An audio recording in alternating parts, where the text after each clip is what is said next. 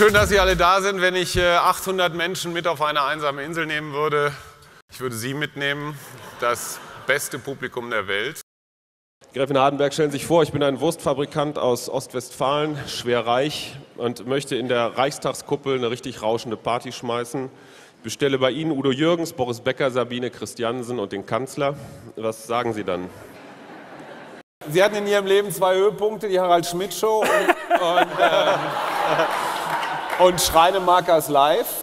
Michael Schöbel ist Manager und Agent. Lange Jahre hatte er den, einen der härtesten Jobs äh, in diesem Geschäft. Er war Manager von Nina Hagen. Bargeld, Hardware, Material unserer Quellen, E-Mails. Also man denkt sofort an KGB, CIA, Al-Qaida, Ronald Pofalla, ja, also die ganz, die ganz großen Geheimnisträger.